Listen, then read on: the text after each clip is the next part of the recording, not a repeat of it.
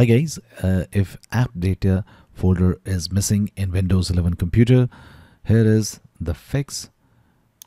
First of all, search File Explorer options. In the taskbar, search just search File Explorer options and just click on File Explorer options in your Windows 11 computer.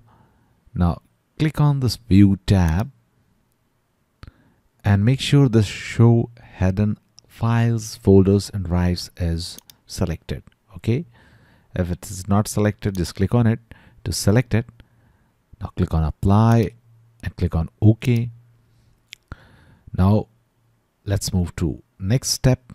Just right click on your start menu and click on file explorer to open file explorer now once you open File Explorer, just go to this path.